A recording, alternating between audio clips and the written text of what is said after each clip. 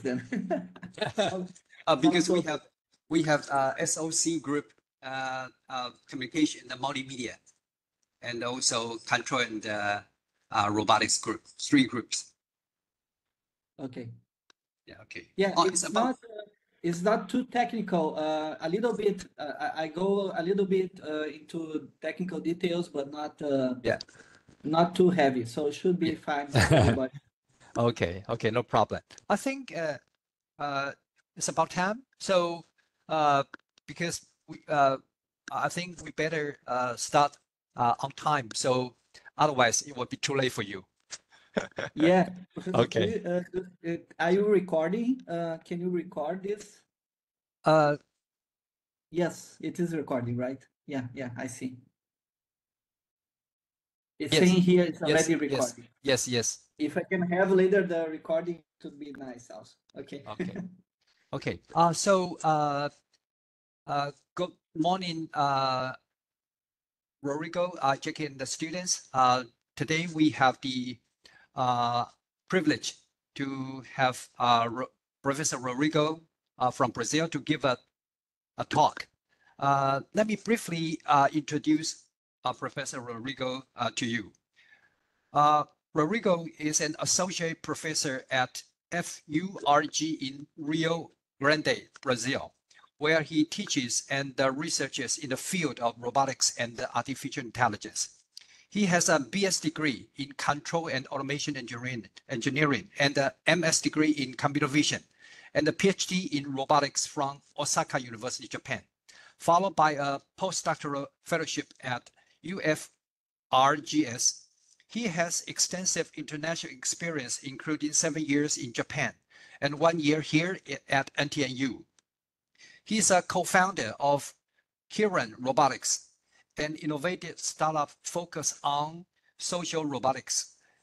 Rodrigo coordinates and participates in projects involving social, terrestrial, aerial, and uh, underwater robotics and leads the TRIA a specialized course in robotics and AI that connects Brazil, Uruguay, and uh, Argentina. Through intelligent robotics, he solved real-world problems and also study cognition, uh, seeking to understand what makes us human, while also raising ethnic questions about the uh, advancement of this technology. So uh, then uh, please join me uh, in welcome Professor, Professor Rodrigo to give his speech. Okay. Now uh, I have to uh, transfer.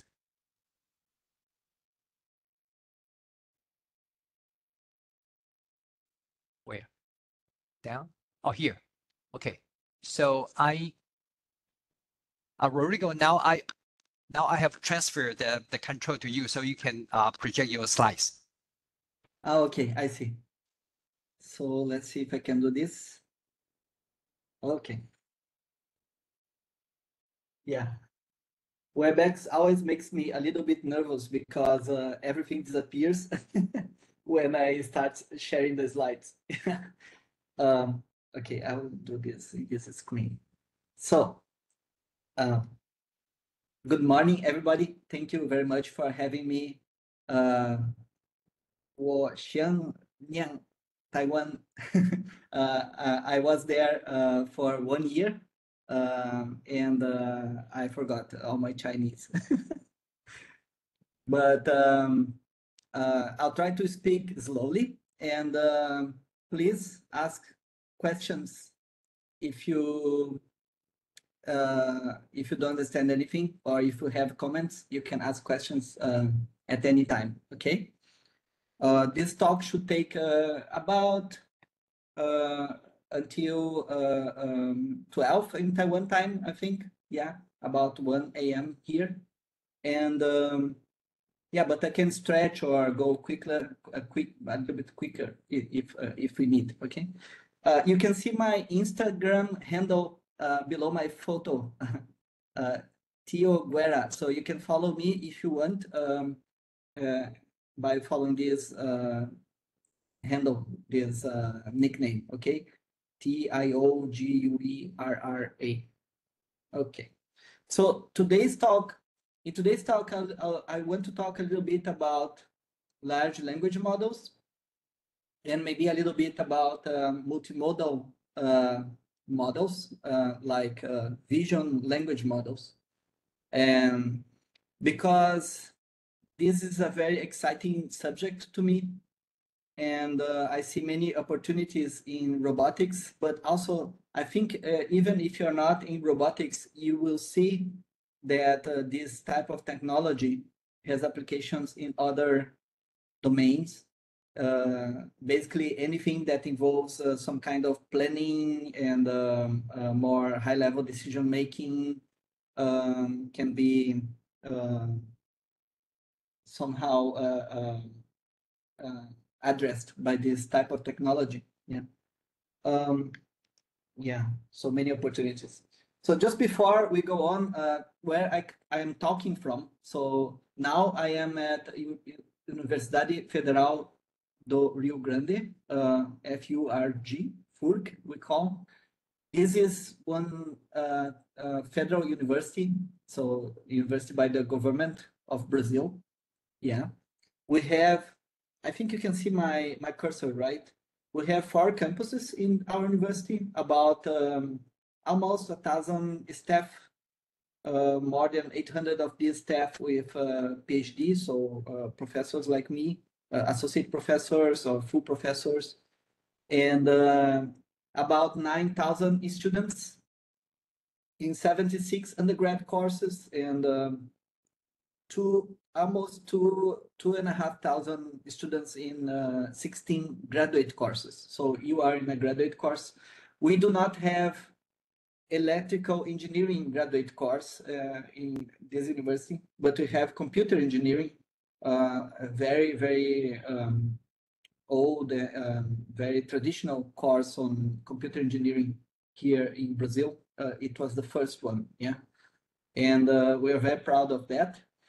And um, inside this university, um, I am uh, at this what we call the Centro de Ciências Computacionais. This is the com computer science uh, center, let's say, uh, where we have 41 uh, uh, professors and, and uh, other staff, yeah, associate professors, adjunct professors, and three undergrad courses. so we have computer engineering, with about uh, a little bit more than 200 students.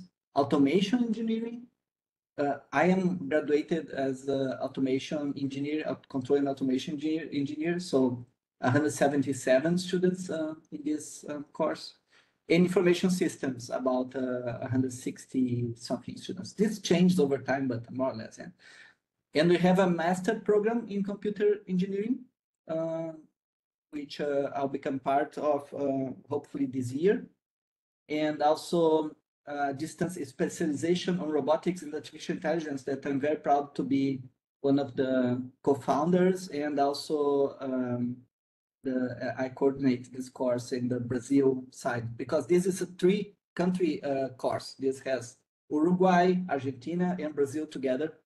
And this all distance learning. So if you want to know more, maybe you can even find some collaboration here. We can talk more about this later. Yeah, because I always want to do collaboration with you guys. and uh, also we have a, a kind of um, industry university partnership program where we have many, many projects with um, companies all over Brazil and sometimes uh, even companies from abroad for example, I coordinate now a project with um, Stihl. Stihl is a group from Germany uh, where they have uh, robot uh, lawn mowers. They mow the lawn, the, they, they cut the grass, yeah. Uh, we are doing something else uh, beyond cutting the grass, so trying to do that. I also have another project with uh, Brazilian government um, for uh, the military application of drones for uh, localization without GPS. Uh, usually I avoid military projects, but this one uh, really touch um, on a very in interesting subject that is uh, for a country. Uh, I, I, see Taiwan also has many issues. Brazil, although Brazil is very big, we have we de depend too much on other countries. For example, for GPS, uh, we, we do not control the satellites. So if another country wants to uh, shut down the, the satellites, we are um, hopeless, yeah?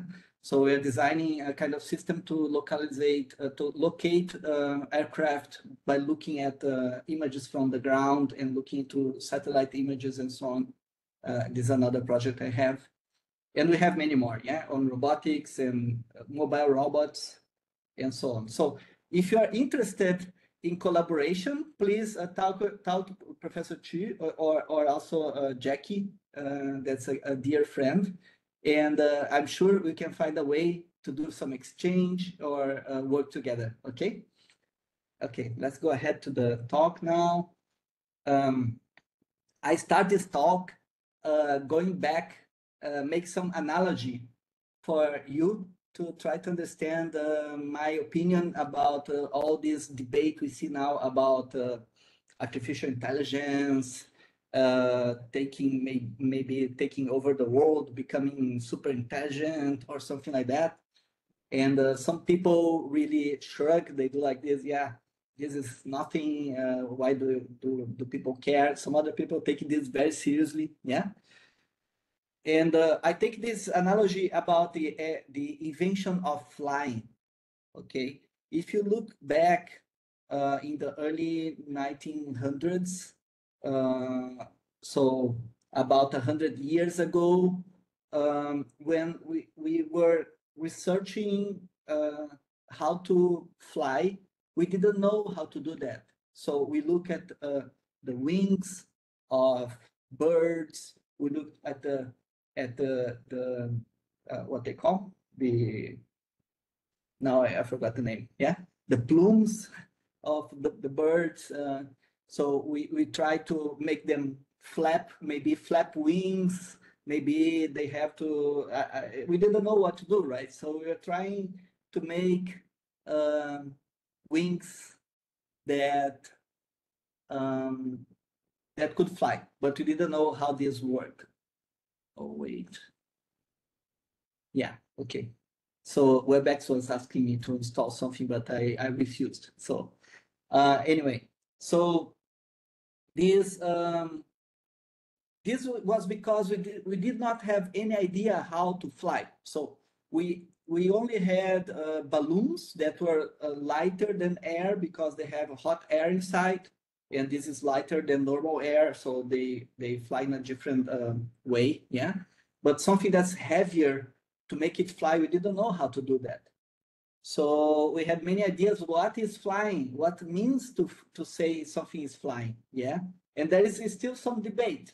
Yeah, because the first, uh, the the invention of the airplane, maybe almost everywhere in the world. Maybe you heard about uh, the Wright brothers, right? Uh, most people talk that uh, they they say that the Wright brothers invented the airplane, but in Brazil, we say that uh, Dumont Santos Dumont invented the airplane because he was a Brazilian. but not only because he was the, Brazil, the Brazilian guy, he was actually a, a, little bit French because he, has, he had a French family. Um, but back then, 100 years ago, many people were trying to make the airplane. And uh, Santos Dumont was the first who made an airplane that could take off by itself. And uh, the Wright brothers, they did this a little bit earlier, but they didn't. Their airplane did not take off by itself. It had to had some kind of catapult, uh, some kind of uh, propulsion to take off, and then it could sustain flight, but could not take off by itself. Yeah.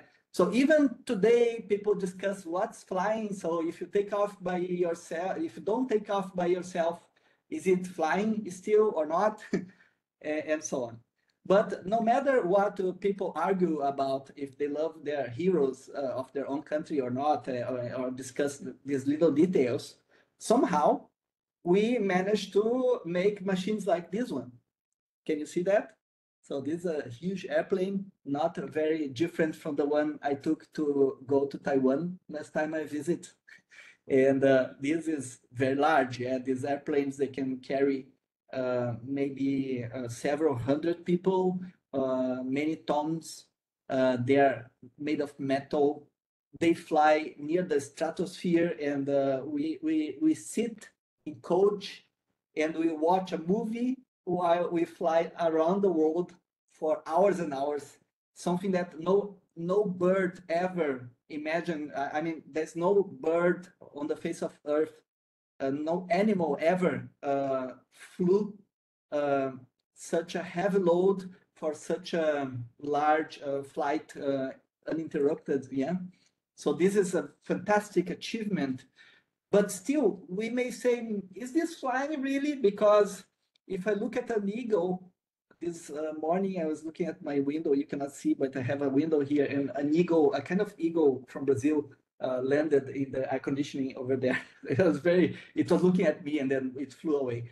So if you look at an eagle, it can fly and dive and maybe even go underwater and fish or grasp an animal and throw and do things that no airplane can do. Maybe maybe sooner um, uh, than later we'll find uh, drones or other things that can do something similar. But uh, so far, so far no airplane can do this. Uh, no airplane can clap wings. And then if we say flying is clapping wings, then we can say, okay, maybe this is not flying, but this discussion is really helping or not.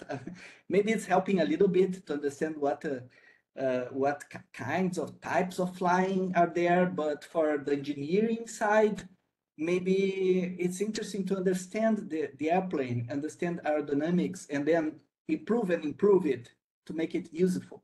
Yeah. And this is the analogy I, I make to thinking. So the LLM, the large language models, uh, they, they generate this kind of discussion. Of, okay, this is not really thinking, this is not real intelligence. Because look at the cat. So Yann LeCun is one of the godfathers of uh, AI, and he says, look at a cat, how a cat is very, um, uh, a cat can jump and, and, and always falls uh, uh with the, the paws uh, to the ground. It's, uh, it's very um, acrobatic, yeah? And and uh, uh, no robot can do it. maybe some Boston Dynamics robot is very good, but um, not as good as a cat, maybe not yet at least. And um, um, maybe we see many kinds of intelligence that uh, other animals and humans have that these machines they they are hopeless yeah if you ask one of these machines to count words they they they somehow um, make terrible mistakes. And uh, but although they are very bad on certain things, they are very intelligent. Uh, maybe not intelligent as the humans um, in some ways, but in some in some narrow uh, in some applications, they are uh, for sure very very um, capable, and in a way that nobody really uh, predicted before. And this is very interesting interesting not for the debate of evil machines or something like that, but interest it's interesting to explore what kind of applications we can have with these uh, these capabilities. Yeah. So uh, I want to discuss here is this real intelligence? Is it conscious? But it's a kind of intelligence, like the airplane does some kind of flying. Yeah. And uh, like the airplane, maybe this kind of intelligence is very powerful maybe more powerful than we can imagine right now because the first airplane was very uh, simple maybe could fly one one person uh, but now we can it can fly to the stratosphere very very high very fast and carry uh, hundreds of people. So this intelligence quickly can surpass uh, human capabilities in some narrow fields in some narrow uh, cognition uh, applications. Yeah, and this uh, has many applications for systems engineering for uh, ro robots and other uh, embedded machines that uh, have uh, impact in the real world. Yeah. So this is what is the, the subject more or less of this talk. So, and with not much further delay, I show here the famous diagram of a transformer model. Yeah. Uh, does any of you have ever seen this uh, diagram? Uh, have you um, maybe studied transformers before? Uh, I, I just wanted to, to check. Maybe some of you actually don't even know how to see your hands if you're raising the hands or not. Anyway, um, hopefully, uh, hopefully some of you have studied transformers. Yeah, Jackie. Yeah, I, I was hoping you you raise your hand. And uh, uh, maybe some of you studied neural networks. Okay, maybe you didn't study transformers yet. It's not too late.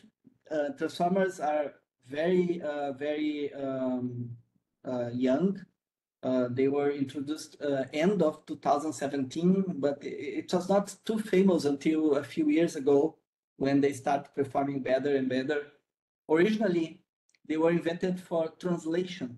So applications like Google Translate. So how they work is that, and I'll show in a moment, but uh, I just want to stay in this slide a little bit.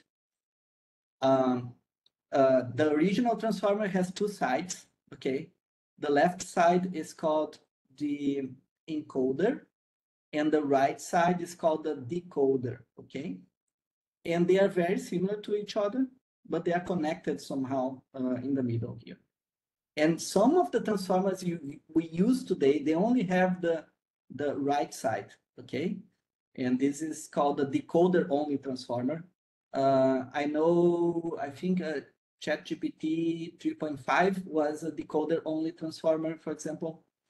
And uh, some other uh, models have only the left side. Uh, these are not for the left side cannot generate text. They can only classify, for example, uh, for some type of sentiment analysis or emotion analysis or to infer intention in some uh, speech, maybe a kind of classification.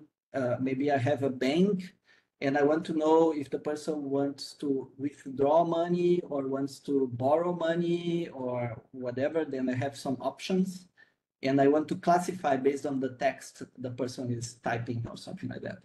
And this uh, is called a BERT. So the BERT model is a transformer with only the left side, only the the encoder, yeah.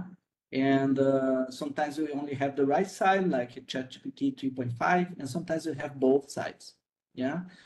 And um, this uh, works by I, will show in a minute, but uh, uh, just uh, uh, for us to understand the dynamics, how this works is that we have a kind of what we call the context window, and then we input something in the encoder side, and it comes at all at once. So we have maybe some text, and it comes at once to this encoding side, and it goes through some layers and then somehow this will uh, uh, get some abstract idea of the meaning of these words, let's say. Yeah, for now, let's say that.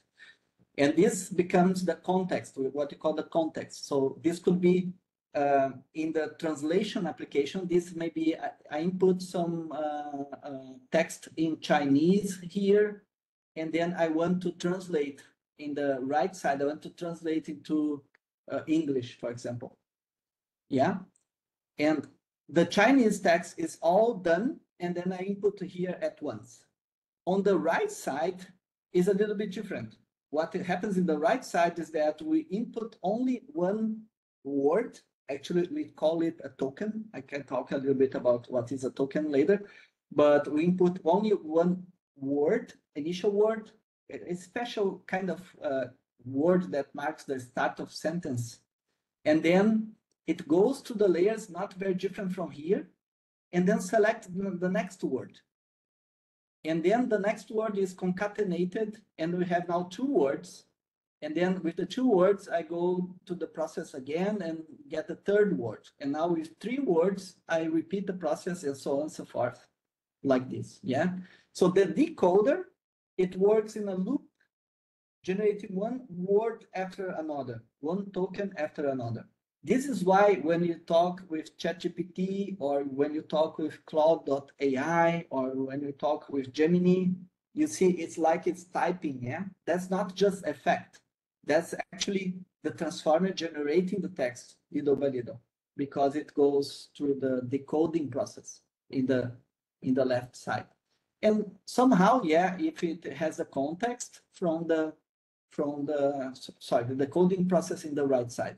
So if it has the context from the left side, it can somehow uh, translate. Yeah, but can do much. No, that can do much more than that. Yeah. So let's let's look at this um, machine and see if we find some kind of magic inside. What's so magic about it? Yeah. And uh, it's interesting enough, uh, there's no magic actually. Uh, well, first of all, uh, just uh, uh, looking at the function, what it, what it is doing is a, a kind of classification. Yeah, is it's trying to guess the next word. It's trying to guess the next word in a vocabulary, and this vocab this vocabulary can be very large, like maybe a million different tokens, and we, we have to choose the best next one based on what we had before. Here's what's trying to do, yeah? Um, of course, um, it's much more than that. Uh, uh, now, if you look at it, uh, people uh, are amazed uh, on how the LLMs can somehow uh, make arguments, develop some kind of thought process, and try to organize ideas and so on just by by trying to predict the next word. Yeah, how come?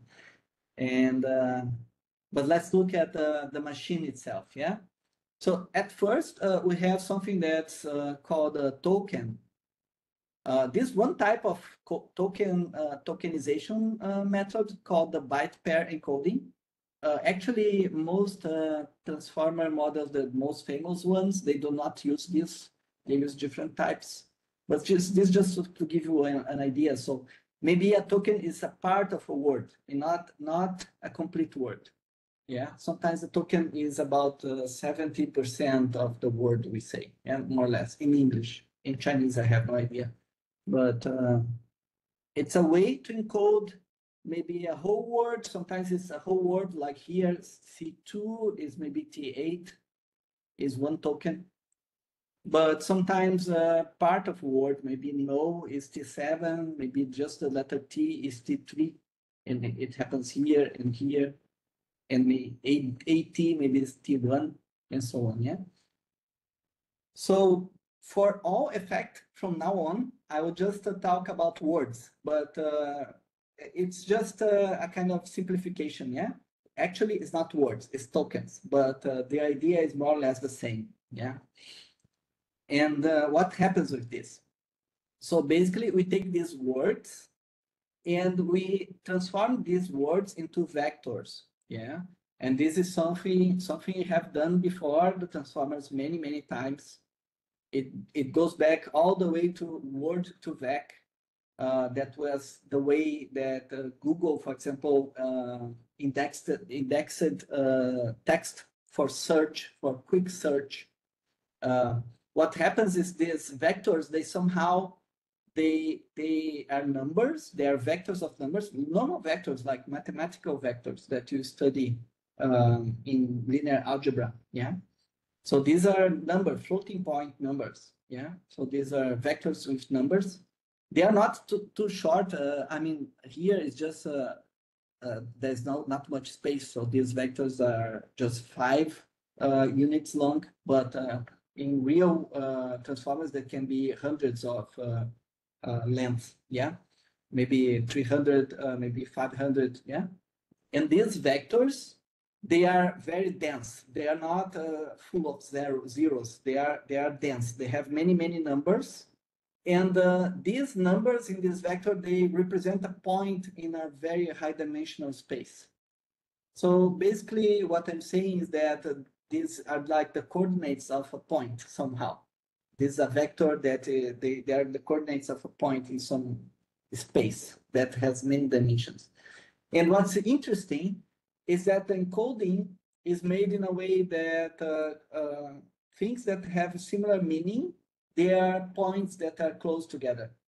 So even if I say, for example, um, um, let me think of an example. Uh, maybe um, maybe dog and fox maybe dog and fox and wolf yeah. Maybe there are different points. The, the words are very different yeah. Wolf is w o l f and dog is d o g. And uh, yeah there are many different uh, maybe go in go in chinese yeah go is dog. Uh, there are many different ways to represent. So if you look at the symbols, they are very different, but the vectors, they should be similar. The vector for dog, the vector for wolf, they are points that are close together. They are more close, so dog and wolf should be more close together than dog and uh, airplane, because airplane is another point very far away in another place. Maybe airplane is close to uh, spaceship or to balloon or to maybe even uh, sheep. Yeah. So that's the idea. And then we have these embeddings that are vectors and we stack them together. They are column vectors. So we make a stack them side by side and make a matrix of all the all the words that make the this input so this is a kind of a context window. The, the size of this matrix, how many words, how many vectors I can have is what we call the context window. Okay. And then, then uh, something very strange happens.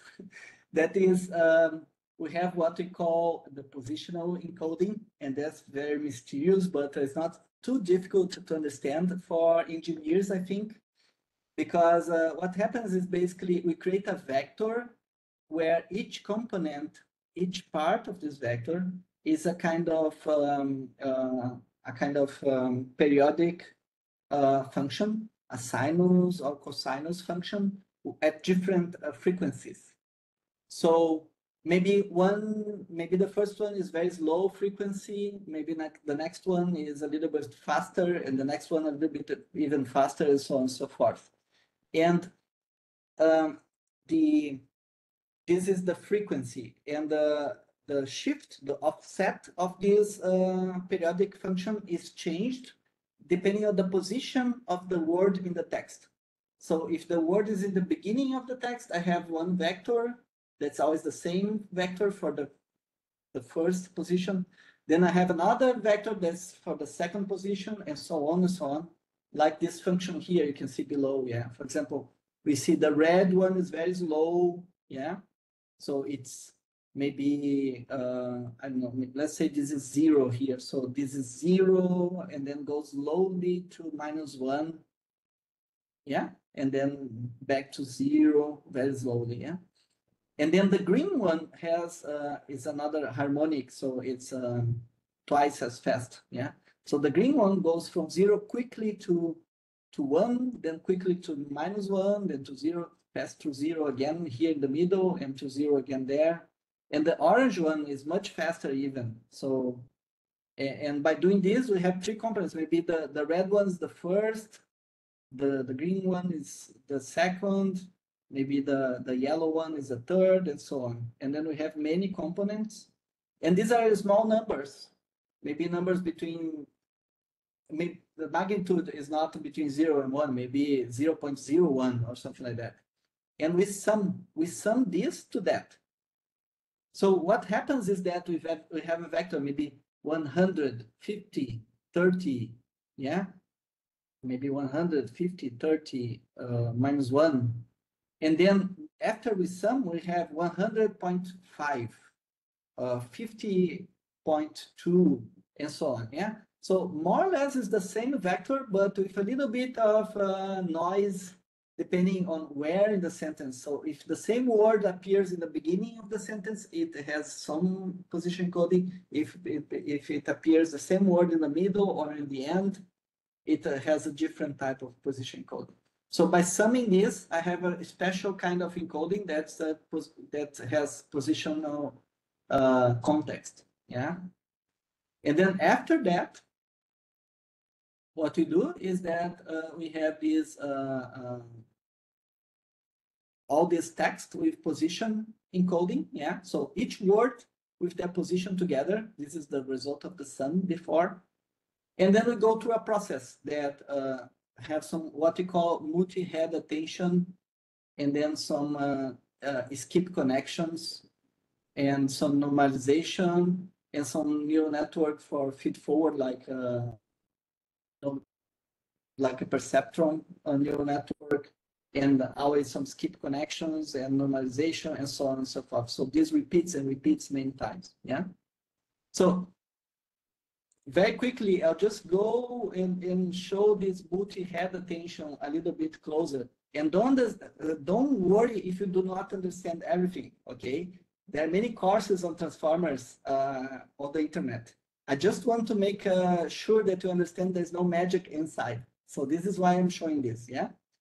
In the end of the process, what's important is that we have a kind of another vector in the output that for each word that I had in the input, I'll have another type of vector in the output that can be the input for the next step. So this happens uh, many times.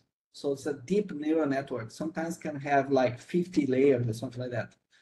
So it means that the input process and then generates another one that's processed the same way again and again and again. Yeah. And then What's this multi-head attention? This is a kind of way. So this one uh, famous example. So uh, I think even from the, I'm not sure now, but I think this is an image from the original paper for for uh, transformers uh, from Google. Yeah.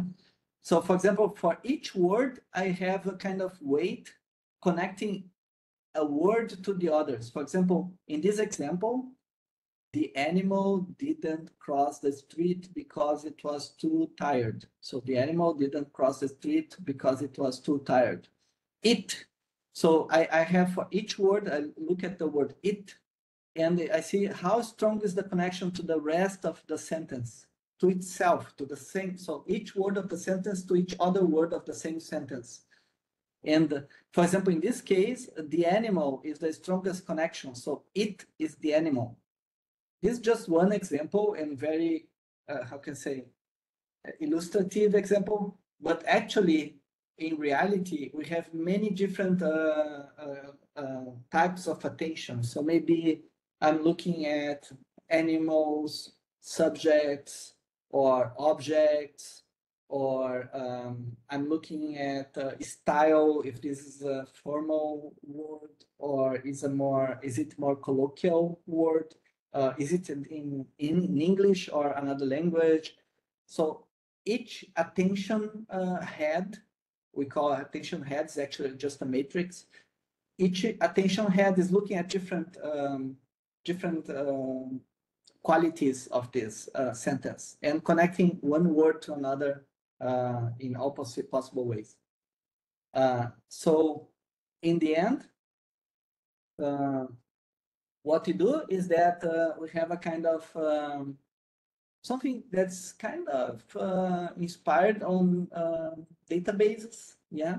So we have a kind of dictionary, a key and value, and we have a query. That's something we search for. So this is how we call them, but basically it's a vector for, we have a vector for query, a vector for key, and a vector for value for each word and then we do some matrix multiplication between the query and the key, and the result is multiplied by the value, and then we create a vector with the result, and we repeat this for many, many different uh, heads, yeah? So the queries multiply the keys, this vector, this matrix multiplication, so line times column plus nine times column, line times column, and then we create the scores and these scores, they are the attention. So for example, this word, this sentence, how are you? How are you? Yeah. So I connect the weights of how uh, with are. So for example, in this this place or uh, R, uh, R and uh, U. Yeah, so U and R are here and so on. So I can see what's the strength of the connection for different um, different types of uh, things that qualities that I want to see in the text. Yeah. Um, and there's some scaling and then uh, some softmax that uh, maybe I, I, will not have much time to explain, but uh, the idea is that uh, somehow this is uh, uh, sum to one, so to represent prob probabilities.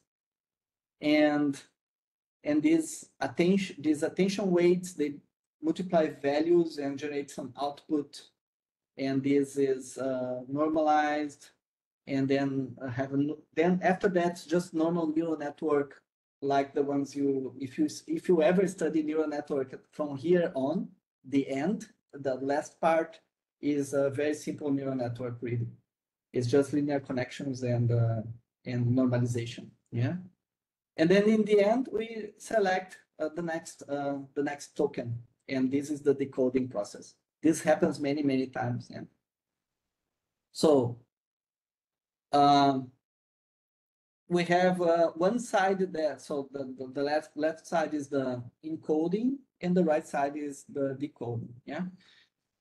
Now, just quickly, I want to show you some animations just to make uh, this a little bit uh, less, uh, a little bit more illustrative. Yeah. So I just want to show you uh, some animation. And don't worry if you do not, uh, of course, nobody uh, understands the transformer in a quick presentation like this. But the important message for you guys is that um, the important message for you guys is that all we are doing is matrix vector multiplication, you see? And then uh, just uh, some a concatenation, a normalization, multiply, sum, not even calculus, yeah? Very simple, very, very simple uh, arithmetics. So there's no mystery inside, yeah? For example, um, can you see this? Um, is it too small? Maybe, Jackie, can you tell me if uh, it's readable? Can you read this? Or G? So here I have a sentence that says data visualization empowers users to, yeah? So this is, a, I, I give you the, the slides uh, later and you can access by yourself. This is a website that iter iterative. So what we do is that for each word on the left, we create an embedding, right? In this case, each word is an embedding. So uh, this is some ID embedding. And then we sum the positional encoding. Remember, I talked about the position encoding. So this is the sine, cosine. And then it becomes a vector for, for each word, okay? After that, then I have this uh, matrix multiplication, okay? So I'll show this quickly. So for each vector word, I multiply by this matrix to get uh, so the blue the blue part is the the Q matrix, the red part is the K matrix, and the green part is the V matrix. And by multiplying the words by the matrix, each word by the matrix, I get a vector for each word. And each vector each vector actually is three vectors, yeah? The vector for the Q, so there's the Q vector, the K vector, and the V vector. So there's one vector for each word, right? And then after that, uh, I take these vectors and I do this multiplication. So first I multiply uh, Q and K, yeah? And then this becomes this, so this is the multiplication of Q and the key and the, the, the query, Q and K. And this is the attention. This is the attention. This is saying how many, how the words correlate to each other. For example, here you can see uh, correlation between m of m powers. Yeah, the, this word is split in two. So m powers. So the token m, uh, how it correlates to the word data. So the, the token data and the to token m is this one. Yeah. Maybe I have another one interesting, I don't know, like, uh, so each one is talking, is showing how one word correlates to another. So you can see this is the size of the, the sentence. In this case, I have one, two, three, four, five, six words, six tokens, yeah? And here I have 36, 36 positions. This is for one head. But of course, in the real transformer, I have a, a context window that is many thousand tokens. And then each attention head is a so it's, three matrix uh, three matrices. So there are three matrices uh, of the size is squared. So square of the size of the context window. And this for each head actually this one is one of 12 i have uh, this repeats many times. So i have 12 uh, parallel versions of this. And then this has many layers yeah? So what mean what this means is that uh, each time I double the context window, I have to multiply the memory requirement by uh, uh, four. So it's the square of the, this is why it's so expensive to have large context windows. So in the computer, you need uh, uh, the square amount of, uh, of memory to compute um, bigger context window, yeah? Is to the to the power uh, square power relation. Yeah. Anyway, so also you see that uh, here I have a kind of mask. This is because we don't want to look into correlation between words that come uh, afterwards. Uh, we only look at the words that come before. So we want to avoid looking at the future. so this is why this is a mask. Yeah, is looking only the correlations between the the next word and the ones that came before, not never looking uh, to the front. So the the upper top, the upper diagonal of this matrix uh, is uh, usually masked, and then there is some normalization, and this is the key and query uh, multiplication. And then this is multiplied by the value and generate the results here. And then we have uh, the layers, the normal layers that usually they, they uh, expand the vector to make it larger. And then the, the normal layers the, is the just a fully connected neural network. And then in the end, we select the, the next word, in this case, create. Yeah. So I don't know, maybe I can try something uh, in the spur of the moment. Uh, for example, in see if I can type a new sentence. Can I edit this? Yeah. So in Taiwan, or maybe uh, the capital of Taiwan is, and then generate and then it's computing in is in. So uh, is called let's see let's see if I can make it uh, say the word. I know maybe this model is not intelligent enough yeah because very small one. Oh it's called Thai.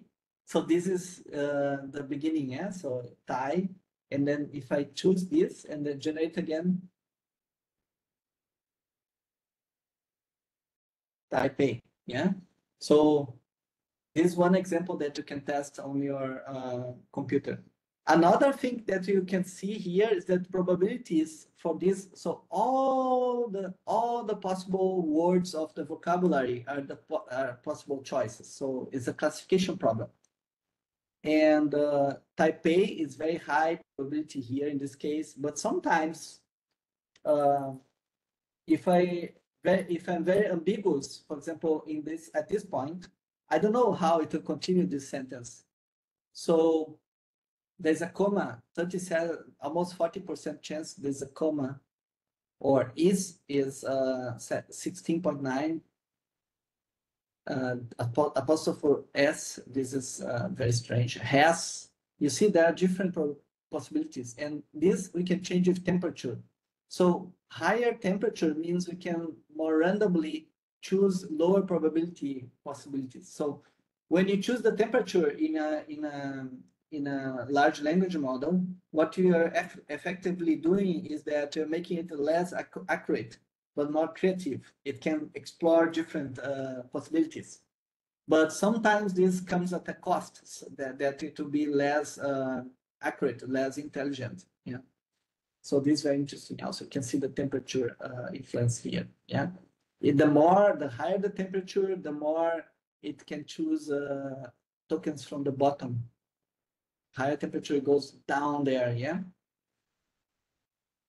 Another one that I found just uh, today for you guys, and uh, this one I find very interesting. Yeah, very very interesting. But I'll show very quickly because we don't have much time. Yeah. Um, this is 3D, so you can read how it works and go uh, step by step. This is called NanoGPT. NanoGPT is a small model just for uh, teaching, yeah? And they have a vocabulary of only uh, three tokens. So uh, you go pressing space and then you can see step by step at first the tokens and then the maybe the words and then the words become the tokens, the index of the tokens. And here is the dictionary of the tokens. So you can see uh, each column is one of the tokens, the embedding of the tokens. And here's the position coding. So you can see how each one becomes um, one of these. Actually, it will go through the, and, and you can see all the animation of the calculation being done. I'll let it play and then uh, it will continue from the beginning again.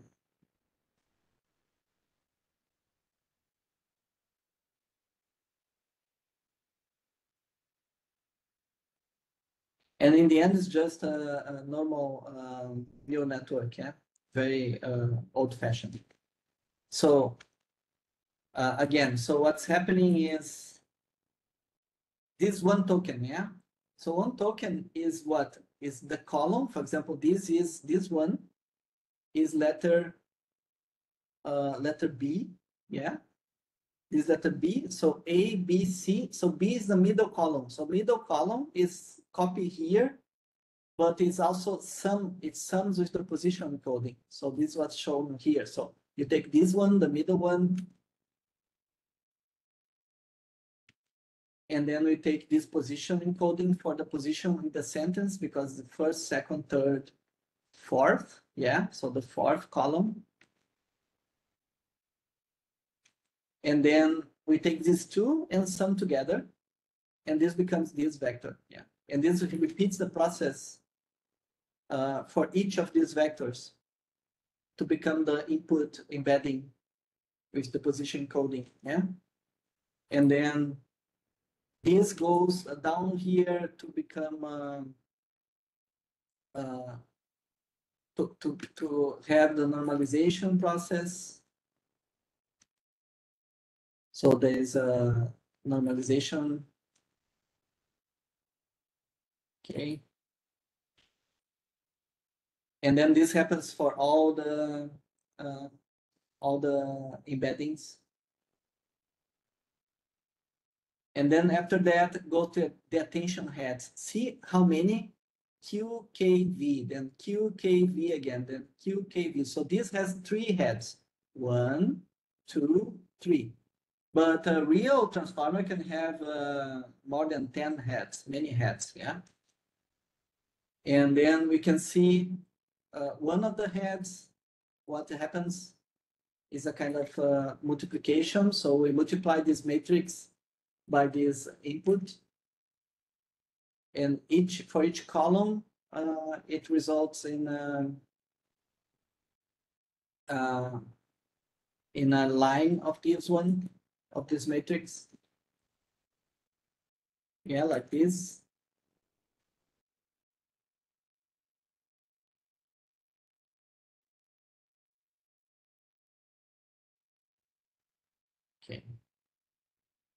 And some the bias and so on. And this for every, anyway, I will not play everything because it will take too long. But uh, uh, I want you to just acknowledge how, and this is the masking, yeah, you cannot see ahead, so this is the masking effect. I just want to show you how this just a sum, multiply, uh, normalization, and so on. Yeah, not not anything mysterious. It's all very complicated, of course. There are many little steps, but uh, there's nothing uh, too difficult. Yeah. Okay, let's go ahead. So I'll go back now because uh, I I need the time.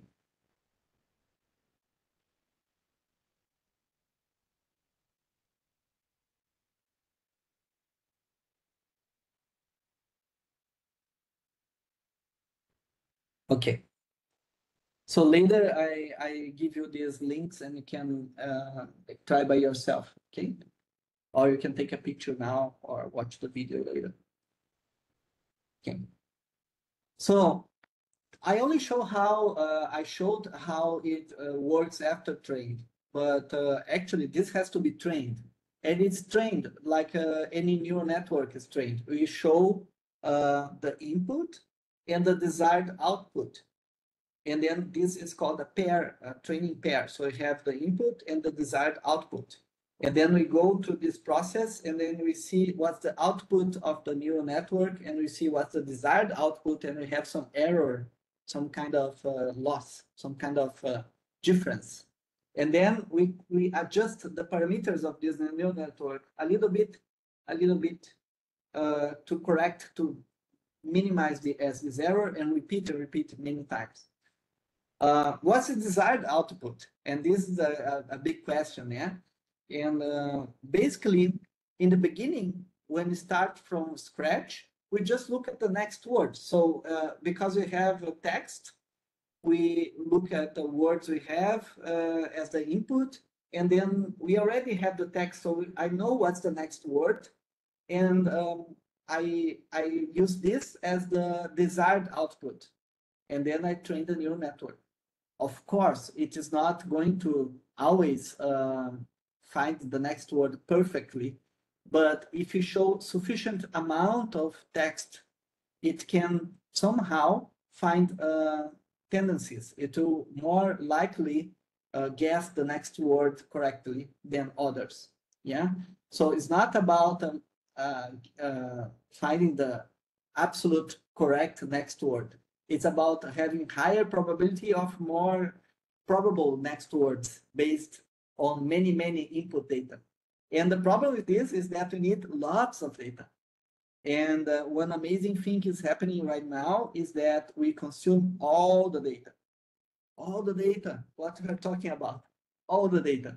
So uh, if you search for some interviews, you can see, for example, the CEO of Anthropic, he's saying he was worried. This was beginning of this year. I remember he's saying in an interview, he was worried last year, he at some point that we would not have more data to train the new network because we already consumed all the data all humans have ever written, all everything that was available, all the books, all web pages, all of Wikipedia, everything, everything, many, many times over.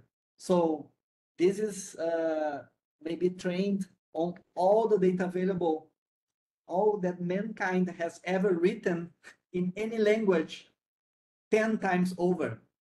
Yeah.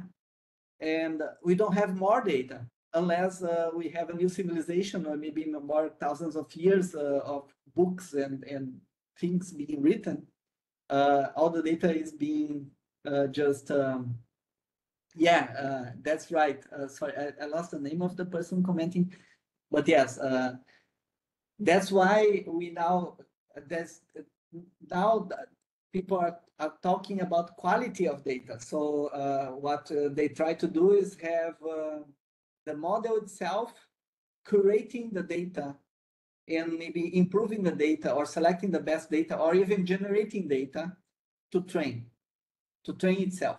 Yeah.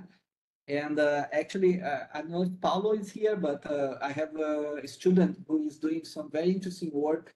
We can even improve the model by uh, making it train on uh, on answers that it generated itself. So a model can look at its own response and then improve itself by looking at its own response. So this is very interesting, this kind of bootstrapping, yeah?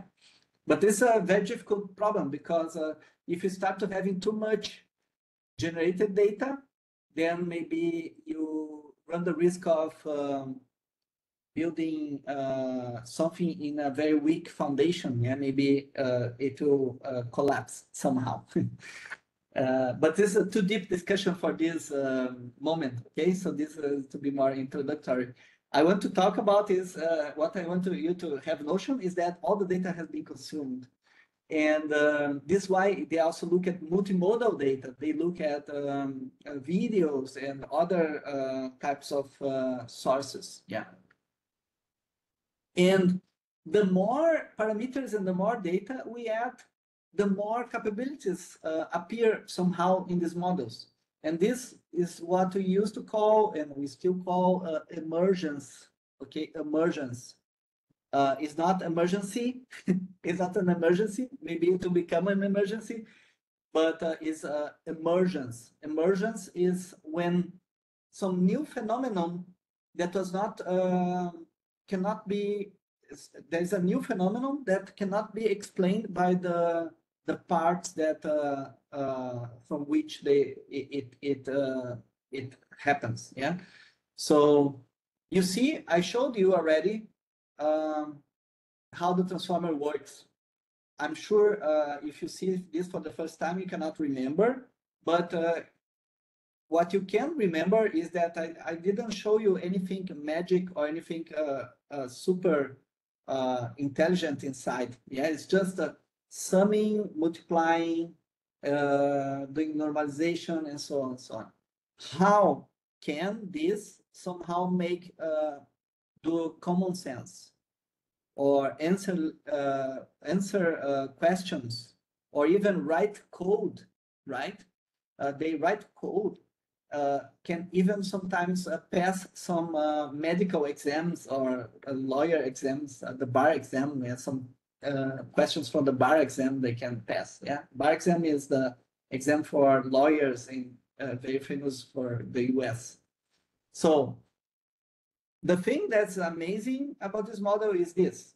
If we make it bigger, have more heads, more layers, and we put more data, it somehow emerges new capabilities, new cognition uh, uh, possibilities.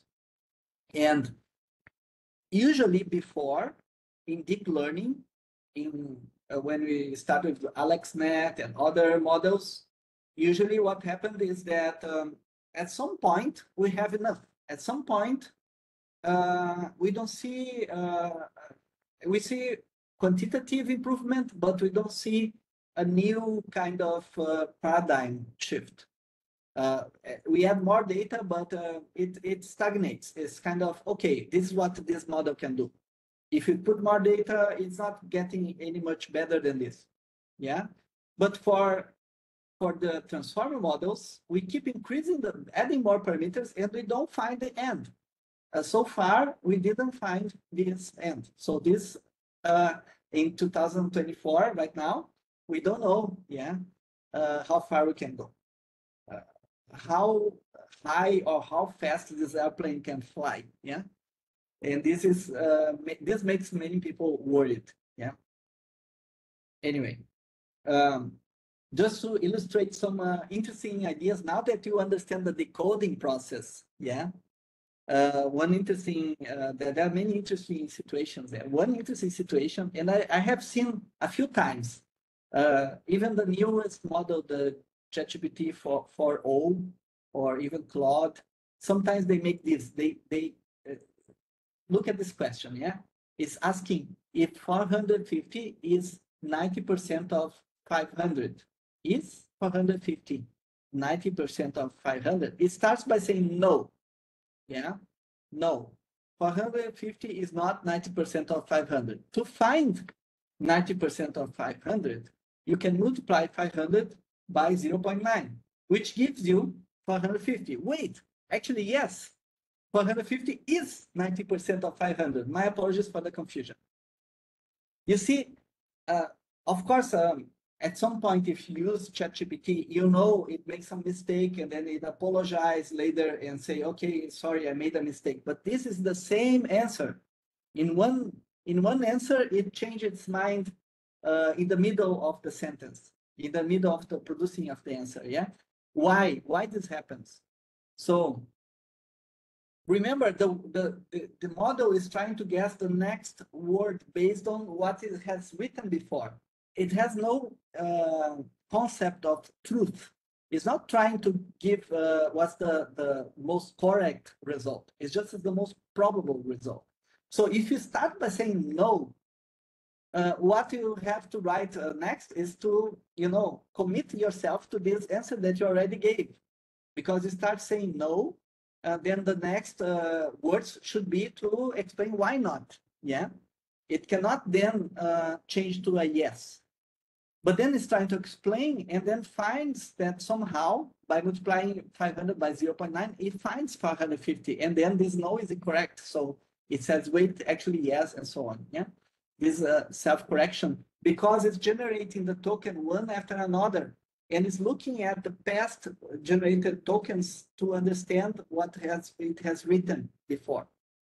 So uh, please understand that there is no other little guy thinking ahead. It's not like uh, uh, humans. Humans maybe they, they think a little bit what what's the word I'm going to say next, and then then I say the word.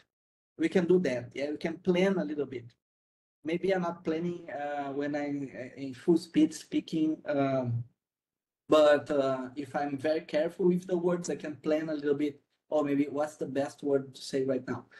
But the model is not doing that. All the model can do is write the next word and look at the words generated before. And this is the only way it can then uh, make some kind of argument and then uh, uh, try to get uh, some deeper answers. Yeah. So this what generated this research about what we call now chain of thought or COT. COT is C-O-T, yeah, chain of thought. Yeah. But what's chain, chain of thought? So look, look at this example. Uh, this is what we call one shot. Uh, this is a one shot example. So I give a question and an answer. This is an example, yeah. And then I, ha I have a question that I do not have the answer. And then the model should output an answer similar to the one shown before. So it's a kind of, I give an example first, and then it should uh, repeat the process, yeah. So left and right uh, are basically the same thing. So only the difference, the only difference is that on the left I say, Roger has five tennis balls he buys two more cans of tennis balls. Each can has three tennis balls. How many tennis balls does he have now? The answer is 11. So the answer is 11. This is uh, very straightforward. Very, uh, it, it's just uh, just saying the answer uh, right away. Yeah, the answer is 11. It's like before when it said no, no. Yeah. So yeah, the answer is 11. That's it. And it's the correct answer, of course. Five plus, so two cans of three tennis balls each. So two times three is six. So six plus five is 11, right? So this is correct. And then I give another answer, another question. So the other question is, the cafeteria had 23 apples. If they used 20 to make lunch and bought six more, how many apples do they have? So this is a very similar kind of problem, yeah? And then it's trying to answer the same way. The answer is 27. And that's not the, correct answer, yeah? And most likely, this model back then uh, would make this mistake. This was uh, beginning of last year, if I'm correct. Um, this is a very famous paper, yeah. And look at the right, the right one on the right. I only changed the prompt. What I gave is that the, answer is a little bit more uh, um, developed. So the answer is like this. So the question is the same, right? The answer is Roger started with five balls. Two cans of three uh, tennis balls each is six tennis balls. Five plus six is 11.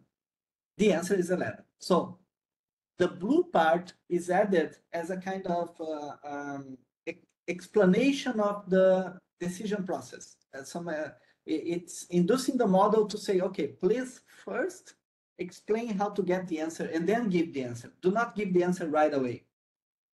And then I came, then they they come with the same question as before. And now the answer the model is giving based on the example gave, given before is also with more explanations. And then it can give the right answer.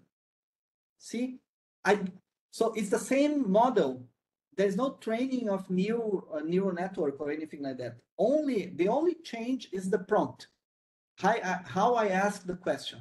Yeah, this is, is what started this, uh, or not started, but it's it's uh, maybe one spot, one important landmark on what we call now prompt engineering. Yeah, what's this prompt engineering nonsense? No, actually, it has some um, some uh, uh, reasoning behind. Yeah because we can actually have a, a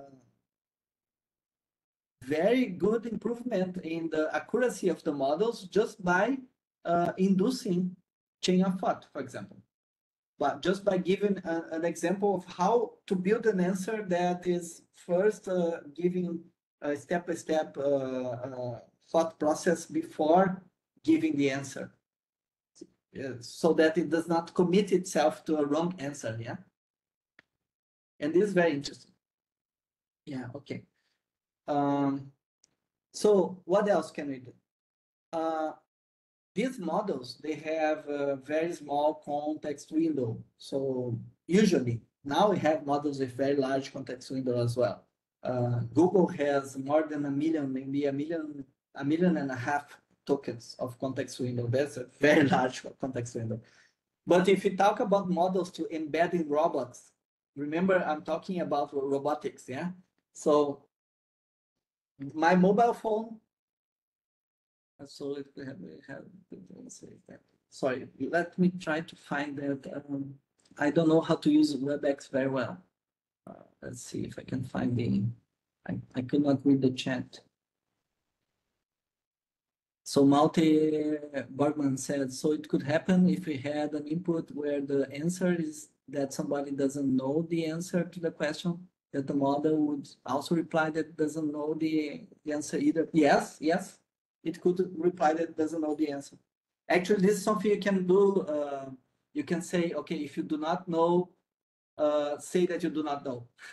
And uh, it sounds very stupid, but it has some effect. It uh, hallucinates less.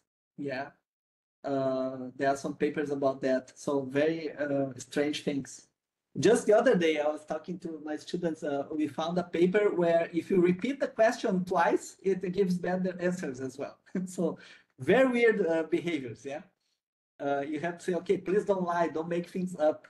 Uh, this is pretty obvious, but somehow uh, it has some effect. Yes, and uh, but it's not because it's trying to make things up or anything like that. It's just because somehow it, it uh, directs the model to have different uh, the probabilities of the next words they, they change a little bit. Yeah let's say that. So uh, here uh, what i'm showing to you is uh, maybe one of the most successful applications of um, uh, llms um, for integrating with legacy systems. What happens here is that we have a llm that's uh, the normal way, uh, question, prompt, and then response. But we also have a legacy system. A legacy system is what? Uh, we have uh, maybe documents or code or whatever, images, I don't know. And but typically imagine we have uh, many, many uh, documents. And then what we do is that for each chunk of this document, we create vectors. We have a vector database of the documents the uh, by chunks. So we have chunks that are smaller than the context window. So maybe the document is a very large PDF, but the context window is very short. So I, I split up, I chop, chop, chop this document into small chunks, yeah? And then I create a vector representation for each chunk. And then this is uh, how we did search. I mean, for over, I don't know, like 20 years. Uh, for over 20 years, we have been doing search. When you search something on Google, it's like that, right? It converts the search query into a vector, and then it has a vector for each web page, and then finds the closest one. And then it retrieves that one, the, the closest one. Or maybe the closest few, yeah, not the just the closest one, but maybe closest four, or five uh, documents. And remember in the beginning of the presentation, I told you guys that we had a project where uh, have an airplane and or drone and we look at the ground and then take a picture and then we search the image uh, in a database of satellite images how we do that so basically the same idea we can have uh, um, embedding vectors for each satellite image yeah and then we take we take a picture and create an embedding vector for that picture and then we compare very quickly that's like uh, uh, a fraction of a second. Very, you can do at frame rate almost. Yeah. Uh, which would not be possible if we did uh, image search by cross correlation or something like that. So that's very interesting. We can do with text. So we take a vector representation of uh, each of these documents, yeah, and have a vector representation of the question. This is a little bit more complicated than I'm showing here because the question has to be a full question. Usually I have a chat, and then if I have a chat, maybe my question is very, I say, uh, what's his age? But maybe in the context, I'd say, okay, maybe I, I was talking about someone specifically, uh, maybe the president of uh, United States and so on. And then, then the question should be, was the age of the president of the United States, Joe Biden? And then uh, this full question becomes a very good vector to find the, the chunk of the document that has the answer. So I, I find maybe three, four, five chunks, bring the text together. So I find the, the, the original text and then send to the LLM. Look at this text above, look at this question and answer only based on this information that's in the context window and then it prepares an answer with um, reference to uh, the the part, the page of the PDF or something like that. Yeah, it can. It's like Perplexity if you use Perplexity. Uh, do yeah. Uh, you can or Chat PDF. It's uh, look at chunks of the document, and then when you have a question, looks at different chunks, and then just based on what's written that chunk it, that fits the context window, it can answer the the question. Yeah. And this is called the retrieval augmented generation. But this doesn't stop there, yeah, because if you have a, um, a kind of uh, agent like that, and many of you maybe have tried, uh, you can say, okay, ChatGPT, now you are uh, uh, my cook assistant. Please help me with this recipe for a cake. Uh, ChatGPT, now you are my lawyer assistant. Please help me with this legal document. So there's some role playing. So I say, ChatGPT, you are da da da. And then um, depending on what you say it is, it will assume a different role. Yeah. So we can have many agents. And this the, the, now there are many, many, uh, and we do this in our lab, uh, agent systems where we have different instances of uh, large language models talking to each other to solve tasks. Yeah. So basically we have a prompt uh, from the human, And then from this prompt, maybe you have an agent that uh, defines a goal. So I say, I'm thirsty. I say, robot, I'm thirsty.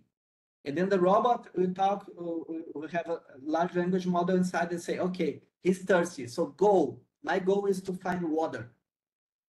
And then the goal is to find water. Then there is another agent that says, okay, I take this goal and break the tasks. Okay, first I, I where I am. Then uh, I, I look for the, the water is in the kitchen inside the fridge. So I should, first I should move to the kitchen. Then I should go in front of the fridge. Then I should open the, the, the door of the fridge. Then I should go to the second shelf. Then I should uh, grasp the water and so on. Yeah, create a task plan.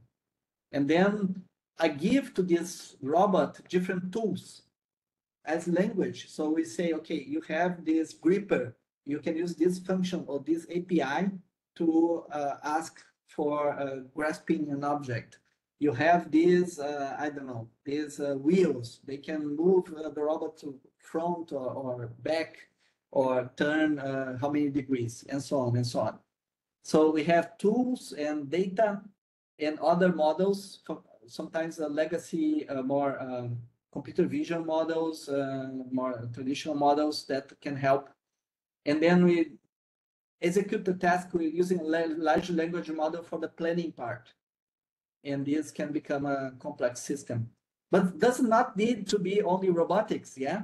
The other day we were talking about a judge in Brazil who she wanted to do a project for legal uh, documents because uh, they wanted to process uh, a pipeline of um, legal processes.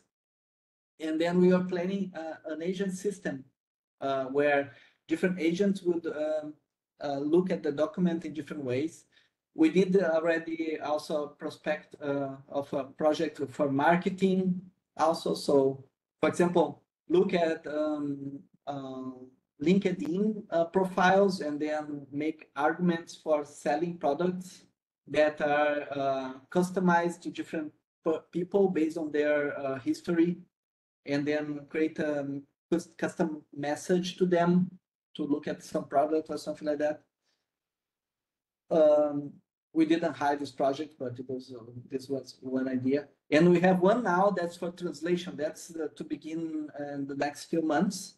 We have a project with a company in Canada and they do translation of uh, scientific documents on uh, scientific papers on health. So what we are going to do is um, help on the early stages of translation before giving to the human. So the human is still in the process, but uh, in the beginning, the, the, the boring part will be done by agents. So we can build systems with agents. There are different types of systems. Yeah.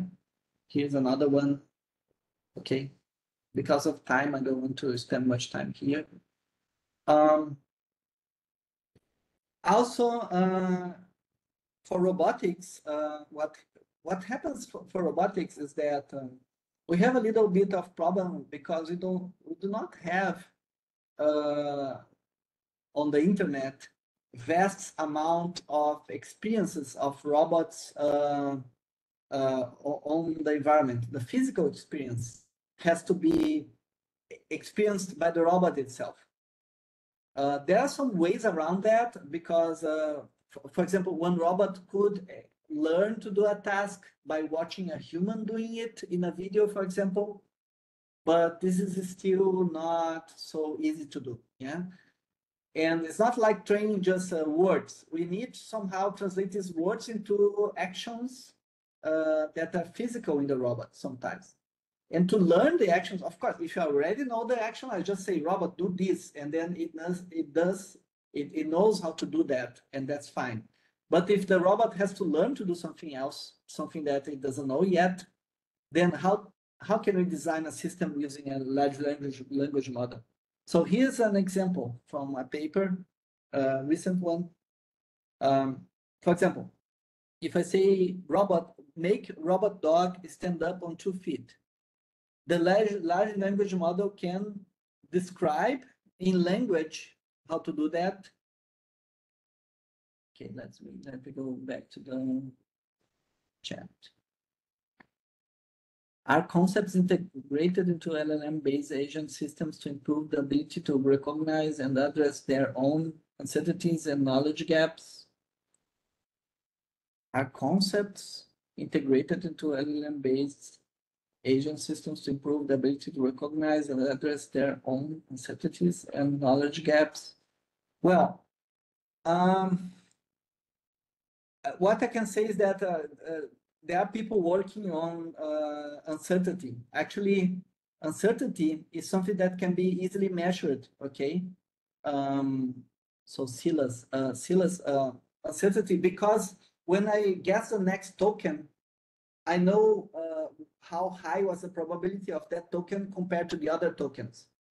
So this gives the concept of um, certainty of the next generated uh, token. And actually, by measuring certainty, we can even decide whether uh, the model was very sure of a response or not. So uh, um, we we uh, we are doing a work with uh, one of my students where we look at the certainty of the next token, and by by looking at this, we can find from k k different uh, chains of uh, remember the temperature. The temperature decides what's the token yeah? If i have a high temperature i can decide maybe a token that's not the best one maybe the next best or something like that. Uh, but what what if imagine the, the following. What if i just use high temperature for the first token? And then after the first token i guess i, I get i get always the best one. So i have a chain different chains right? I, I could uh, just for the first token choose randomly a, a little bit more randomly the, the top the top 10 maybe. And for the top 10 I after the first token I choose always the best one. After the, the first. So I have 10 different chains right and if you look at if you do that what you find is that often very often the large models have chain of thought embedded they actually in the top 10 or top few they find you can find a few of these chains of uh, decoding that uh, explain the process before giving the answer. That's chain of thought, like I, I told you yeah, before. And if you want to find where is the chain of thought, because you don't know the answer, you're just looking at uh, tokens and vectors, right? Uh, how can you how can you tell which one is the best answer? You can see uh, there's higher certainty in the guessing of the next token. So, you know, there are some systems that can do that. They, they, they, in parallel, they, they generate different answers and then they choose the best one automatically based on the certainty of the response. Okay. But this has a cost because you have to decode uh, more than one path and this costs much uh, computationally. Yeah, you need uh, lots of uh, for large models, you need a, a big GPU and uh, maybe a huge uh, farm with many servers and so on. Okay, I hope I answered a little bit. But back to, to the reinforcement learning. So one idea is that, for example, the LLM could describe in words what's the, to make the robot um, stand up, or but it cannot, these words cannot become a motion in the robot, right? And also, maybe you could set uh, maybe joint angles, but uh, the LLM cannot set joint angles directly. So either way, so these joint angles can go to the robot, but LLM is not good at it, or LLM generates words, but uh, it cannot become joint, uh, joint angles. So what you can do is that uh, make we make the, the these LLM generate some kind of uh, reward function. So the LLM is uh, trying to, to take a sentence and create a reward function for this robot to learn to stand up. Yeah. And this somehow uh, works um, uh, and can be done. Yeah. And how you do that is that you create a prompt. You have a kind of prompt engineering, right? You have a kind of template for a prompt and based on that you have the, then the, the, the, the sentence, the command from the user, and this becomes the motion descriptor first, and then the reward coder uh, transform this description into code, And this goes to the motion controller to make the robot learn to do that. um, you can also have uh, LLMs uh, generate code because when they learn language, they also learn code. There's lots of code on the internet, right? And uh, they can generate um, instructions directly as code. For example, move the Coke can a little bit to the right. So becomes a very simple code. While not object in gripper Coke can, then robot dot move gripper to Coke can.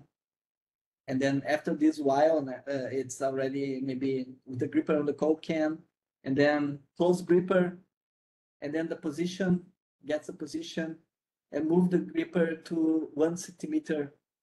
Yeah, a bit to the right. Maybe I know I don't know what what unit is, is this, but uh, 0.1 I don't know meters to the right, or 0.1 centimeters to the right, and then open the gripper. Yeah, and we can use this uh, with other tools. For example, in this case, and this is a very famous uh, work. Yeah. In green, we have perception APIs that are tools that are given to the robot. So this use a vision system that's not a large, large language model. So it can find, detect objects, for example, YOLO or something like that. And then it can uh, create code and also create some functions. So in red uh, are the functions that is the, the large language model itself is defining. So it's creating also the functions for the for solving the problem and they are they are also given control. So the green and the the yellow ones are, are given uh, to the so that perception and control. So uh, sensing and acting for the robot. Uh, this is given. Uh, so there's some control. Pick and place is already pre-programmed. There's inverse kinematics pre-programmed, and detecting objects is also pre-programmed but uh, everything in between is solved by the, the large language model directly generating code. Yeah. Um, and this has a mixed uh, success. You can see, for example, put the blocks. I don't if I have a video. It's not a video. Yeah. Put the blocks in bowls with no matching colors. So it's moving the blocks to, to a color that's different from the block. So for example, here the blue block in the green bowl, the green block in the red bowl, uh, bowl and so on. Yeah. And, and here many other examples. So it's, it has very good reasoning capabilities. Yeah. But this is a very simple, uh, how to say, tabletop uh, kind of ex experiment. We see many of these, yeah. It, it's a kind of table and everything is on top and you can only pick and place by uh, moving the gripper from uh, from the top. Yeah. Only the last one, this one, put away the Coke can and the apple in their corresponding bins. And then it takes the, the apple, puts in the recycling, uh, the maybe the organic um, garbage uh, uh, bin and the Coke can in the recycle uh, bin and so on. Yeah. Uh, uh, by the way, uh, recycling in Taiwan is something very impressive. so uh, we should be very proud. Um, okay. So, but this is doing, if you see, this is doing what? I, I having sensing is using a kind of separated computer vision model that only gives the answer, the coordinates as text. Yeah. What if I could have the model see images? And this is the, something very interesting now that we have models that can also look at images. Yeah. So the VIT, the vision transformer, what it does is simply by, uh, create a mosaic of the image. You have an image, you, you break down into little bits. And then for each little bit, you create a kind of embedding just make a linear vector of the uh, RGB values of these uh, uh, pixels and have position coding and then feed this into a transformer neural network. And this works. You can classify objects and do things like uh, convolutional uh, vision systems, but using transformers. Yeah, it can do very good work. Actually, it works very well. Uh, so this is a vision transformer. So basically, just taking because you remember inside the transformer we have the attention uh, head, so you can correlate each patch to each other patch and find the attention and, and somehow say, okay, this uh, has a wing and a beak and uh, feather. A feather is the word I was looking for before. Feathers and okay, this is a bird. So you can put this together by correlating these different embeddings for each patch of this image. Yeah. And this is very easy to understand now because you, you see uh, basically instead of having uh, embedding for each token, I have an embedding for each part of the image and that's it. I just train many, many examples and we have many examples in the internet. Why not? And then we have some classification. Yeah, this is like a BERT model. Yeah, the encoder model. But also we can mix this together, yeah. And there are many ways to mix. We don't have time to to really talk too much about uh, the um, multimodal, uh, but one very easy to understand one is imagine we have the encoder part is image input, and the decoder part is text. And then by doing this, you, you can train a neural network to, for example, uh, do OCR or maybe uh, create uh, create um, uh, labels for images and so on. Yeah, and depending on the size of this data set and how you program it, you can do very uh, um, much deeper understanding of the images. Yeah, because it has text and image. So here's one example with Claude, just to give you a sense uh, of something very interesting that you can see. So this is what I did. I took an image of these blocks.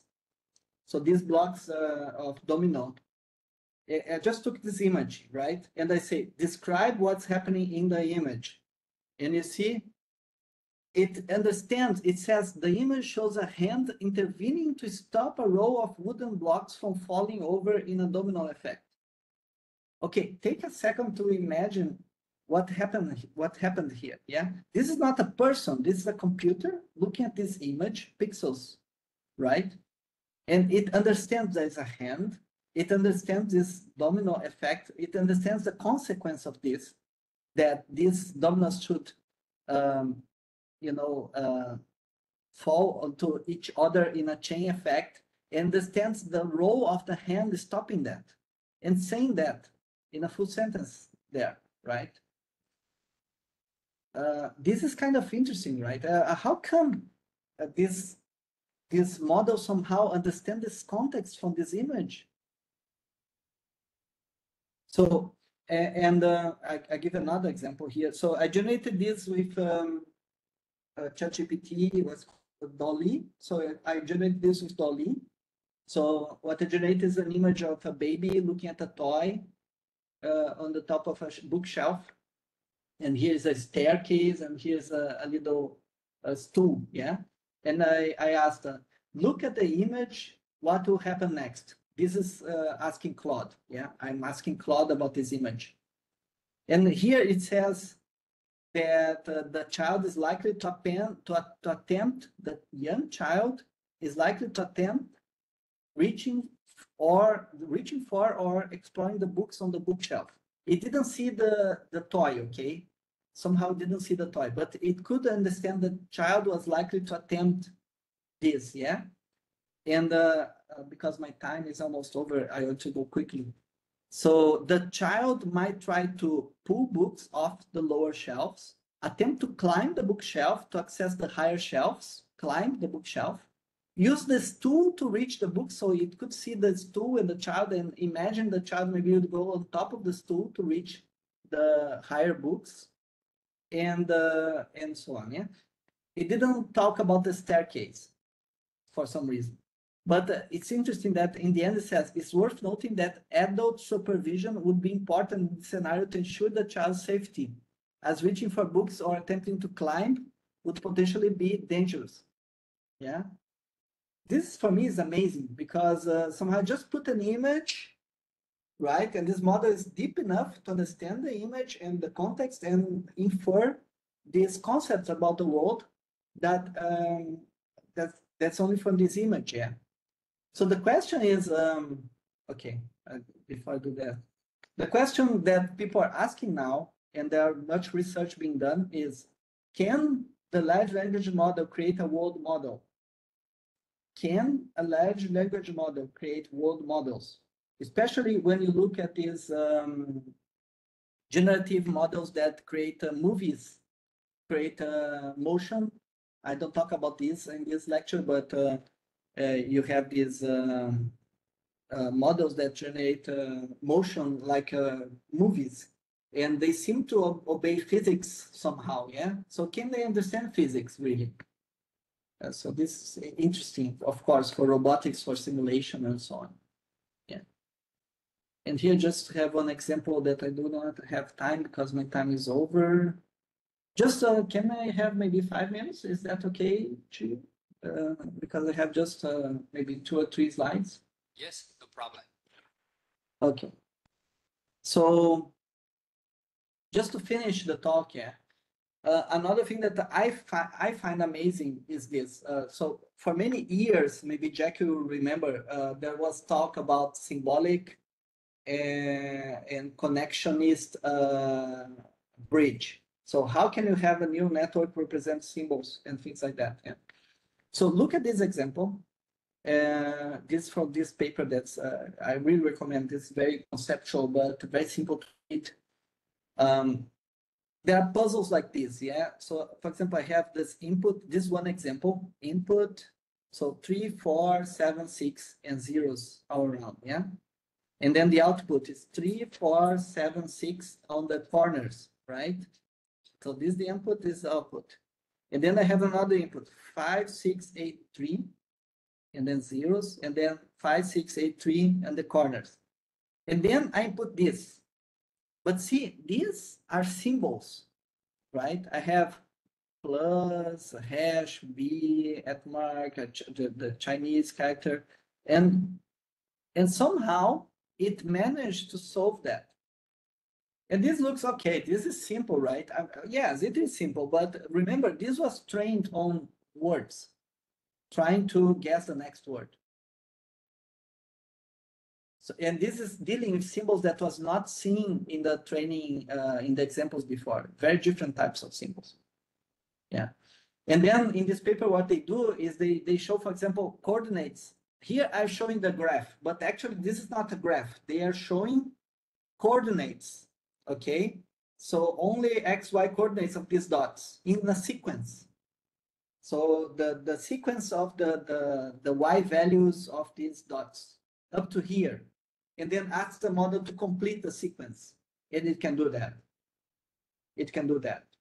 And here uh, is a sequence that is even changing. So here's the uh, sinusoidal uh, shape that's increasing magnitude. And it can do that as well. It can kind of increase in magnitude. If you give more examples in the, the right, you give a little bit more, it shows uh, even more consistency. So even extrapolating to coordinates that it didn't see before in the examples, right? So it shows that these models can even generate trajectory uh, directly, directly, not programming, directly generating, extrapolating the next point. So uh, just to conclude my talk, this uh, I find very interesting. So you can use that and just by looking at points in the object, so you have this uh, maybe some feature points in the object. Yeah. And then we have some feature points in the gripper. Okay. And we show one or, or few less than 10, less than 10 examples of a task. Okay. It's only tracking the points of the object and the gripper. For example, here is to put the object, put the, the bottle up. Yeah. I give maybe three, five examples of this. And then from that, I say, okay, repeat. And not training any model. I'm not training, training any weights. I just say, repeat that. And the model can generate trajectories to repeat that. So now if I see uh, uh, ne next one, here's just uh, the model now by itself repeating the task in a new situation that it didn't see before. But there's no training, no weights being trained here. Only by training with lots of text in the internet, by reading the Wikipedia and whatever, uh, and looking at the examples, maybe five, six, eight examples, it can learn to make this bottle up just by uh, producing trajectory di directly using the model directly for that. No uh, fine tuning, nothing special. And uh, for many tasks, so for example, here, cleaning a dish, um, and, and you, you, can see by yourself. Yeah. So this, um, just to end, let's see uh, now. Okay, this. So um, this uh, usually I put this in my slides. I've been putting this for many years now. Um, is to show you uh, how this concept of what, what an image uh, uh is and what the real thing is. So most of you uh, are watching from uh, a chair. Maybe you are sitting on a chair or some kind of stool or a chair or a bench or a sofa. So you understand that to understand what is a chair is not just looking at pixels. You have to have legs and sit, right? You have to feel tired and sit understand why you sit and, and there's a function of sitting and why uh, you need legs to sit and so on. And uh, uh, so far what we are doing is uh, we have um, this knowledge on the internet videos, images, and the models can learn by watching what we understand from the world by showing these videos and these images. But only by making robots that are capable of interacting with the world, world we can extrapolate beyond that. Yeah. If we want uh, the, these machines to help us understand the world and maybe discover new things, we have to uh, enable them to also explore yeah, and interact with the world. Uh, these deeper concepts only come uh, with the physicality. Of course, maybe in simulation in some cases, but uh, not by just looking at images and pixels. You, you need to interact somehow with the world. And uh, I still firmly be, be, believe in that, but uh, I'm not, I don't know. I'm starting to become a little bit afraid. Maybe they'll find a way to just from the pixels simulate something or whatever. But so far, this is a truth. And just to end, this is the last slide, okay, Professor Chu, uh, I'm sorry for the delay of six minutes. Um, I ask, if we ask, this is me, yeah, this is my ChatGPT, I ask, uh, would you gently push a person if this action could save all humans from extinction? You, what would you do? Answer only yes or no. I asked ChatGPT and said no. and this is a famous YouTuber is always asking this kind of questions. Uh, this is just uh, to show you how sometimes we put many guardrails for these uh, agents. They should not harm anyone, should not uh, make any uh, person uncomfortable or something like that. And then gently pushing, yeah? Just gently pushing, not killing anyone, just gently pushing to save all mankind from extinction. It said no. So before we put this intelligence into robots, we need to address a little bit of this um, common sense, I think. uh, and this ends my talk, and I'm open. If you need, uh, I can stay a little bit more time, but uh, I, oh, I'm over the time a little too much, maybe. Thank you very much. Uh, thank you very much, uh, Rodrigo, for your inspiring uh, speech. It is, of, of course, it's a rare opportunity to interact with the students. So because of time constraint, Uh, we can only allow uh, several uh, questions. please raise your hands if you wish to, to raise your questions. Any questions?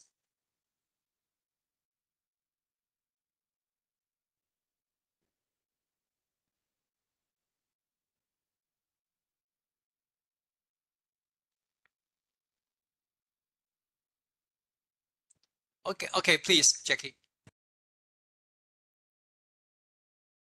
Jackie, please. So how does this relate to compression? I mean, uh, it seems to me like the encoding uh, in a sense, artificial intelligence can also be modeled as compressing data smaller and smaller because you understand it better and better, and you end up with a smaller footprint then a smaller data set. Um, would it be useful to compress text uh, instead of sending it as straight text? Uh, compress the text using gzip or some more advanced methods. Same thing for the images. Yeah, that's a great question, Jackie. Um, so, for example, in this project of um, uh, of the the drone localization that I mentioned before, um, we use uh, autoencoders. And you know, autoencoders, they create an embedding. In our case, we create a thousand vector embedding for an image that uh, is, I don't remember now, something like 512 by 512. And we can input the image, generate the embedding, and then from embedding, generate the image back again. But somehow the information is not in that embedding, right? Because you need the whole neural network all these parameters tuned to reconstruct that image. Um, so maybe, uh, okay, I'm talking about autoencoders, but in, in a sense, uh, I see these uh, huge language models. They are encoding this information in these large, large neural networks that model the world. And uh, these embeddings, they, they really they only work on the context of these trained models, I think. They are not really, they, they don't have, they don't carry the information uh, in themselves. They, they, they somehow, they only help the model find the information that it, it has stored somehow in it in itself. So um, this is how I see it. I think it could be used for, for, compression, but you need to carry a very heavy load or have a, a, a good connection to the model or something like that. It, it's it's um, it's always depending on this weight and these parameters. And I'm not I don't see this as much trustworthy because of hallucinations and so on. So maybe maybe it would remember a little bit different not so different from us, yeah, because we change things in our memory so often. So maybe these models, they somehow even uh, they are similar to us in a sense. yeah. So by compression, I meant lossy compression, obviously. Not... Yeah. So kind of lossy compression. Yes.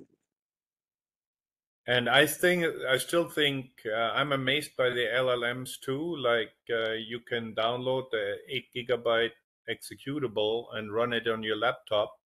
Yeah. And it knows an awful lot, really. Uh, so if you if you think of that as compression, then uh, that is quite phenomenal. Yeah, uh, my my phone I, I bought this uh, Samsung uh, S24 uh, Ultra. It has the it was one of the first uh, beginning of the year, middle of the year they launched um, that has the uh, Gemini Nano. It runs locally and uh, on the phone. Come on, it's a mobile phone. So that's too quick, yeah.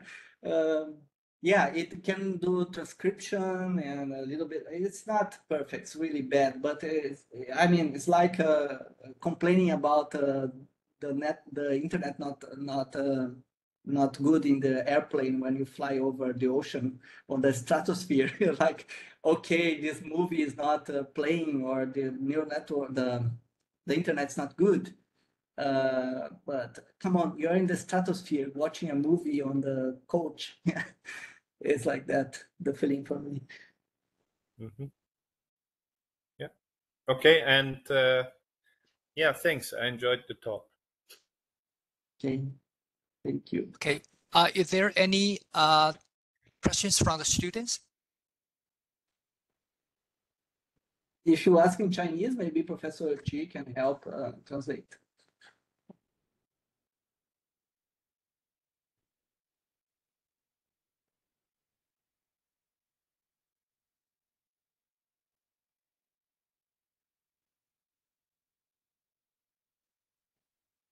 Okay, probably everybody is preparing to go for lunch, and uh, it's also very late for you, Rodrigo.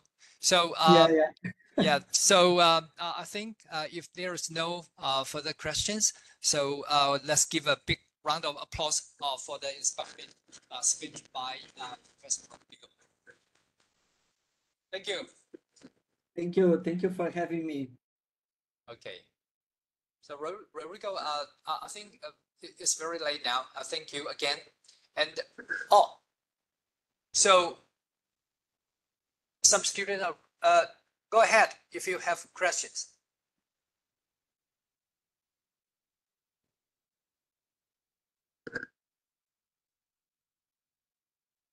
Okay, um, there is a student uh, raising uh, his or her hands. So go ahead if you wish to ask. Uh, students, uh, you can leave the chat room now. Uh, if there is any question you would like to uh, interact with Rodrigo, uh, you can stay.